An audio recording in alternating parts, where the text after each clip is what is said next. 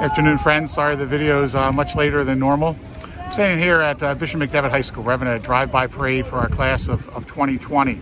And uh, had to be postponed for Monday because the incidents happening in the community, but, but here we are. And it, has been an amazing first 15, 20 minutes as folks are coming through. A beautiful day, a diverse group of faculty, uh, alumni, uh, friends, parents association, and of course our, our students who are here.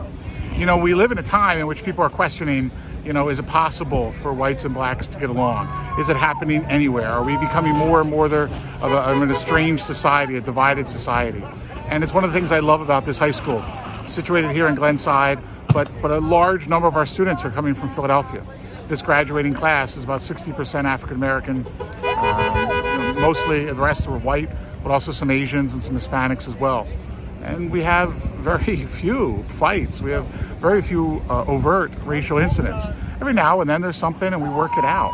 The Black Student Union and the student government work things out together. Student leaders have become friends.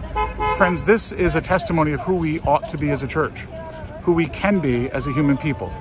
The gospel at today's Mass, Jesus is very clear. The two great commandments, love God, love one another.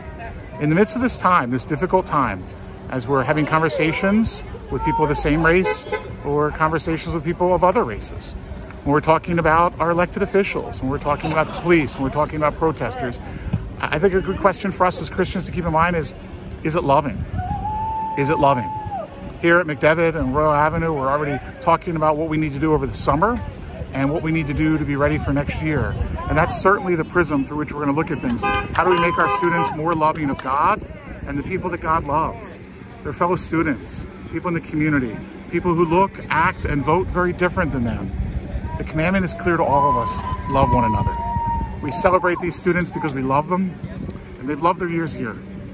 Friends, for the sake of our kids, for the sake of the generations to come, let us commit to being people who love as Jesus loved. Please pray for these kids. They're entering into a very difficult time, very uncertain about what's to happen in the, uh, in the months to come as they head off to college. But with God's grace, with good habits, with great adults helping to take care of them, they'll get there. Peace.